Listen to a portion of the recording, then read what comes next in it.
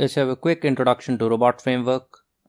So we are done with the installation of Robot Framework and all the uh, required components. Now let us open RIDE by just typing ride.py. You need to have your path variable set to run this directly. Now you see here we are, have file.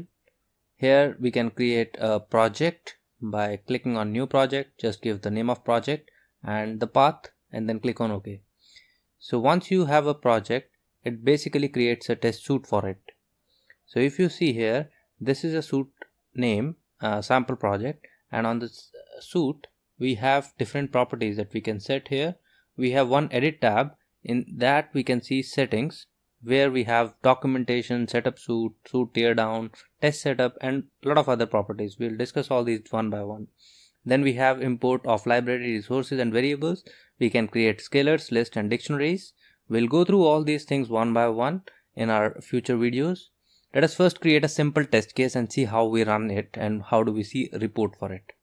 So we have a set of built-in functions. For the time being, we are just uh, using a very simple function that is just for logging on the console. The name of function is log. Since uh, robot is keyword-driven framework, we just need to have a keyword and then the uh, we need to pass the arguments and it will perform all the actions what are required. So you can see here the source of uh, log is built-in library and these are the arguments. Now how do I get to know about this uh, help file? You just need to click on that cell where you have your keyword and then hit control space. Then it will open this help file and you can see all the explanation and examples. So here we can see if we put hello world message and if I select the test case and run it from here it shows the status that okay it took this much time one of the test case was passed one is failed. It shows that output is saved here log file is saved here and here is the report. It took this much of time. And if you want to see the report we have two buttons here on the top also. One is for report and one is for log log. So if you click on report you will get a summary of uh, all the test cases that are run the time taken and you will see this all entire window in green. If there is any test which is failed you will see this in red. If you click on the log you will see a detailed description of every test case. You can expand it and then see what happened actually.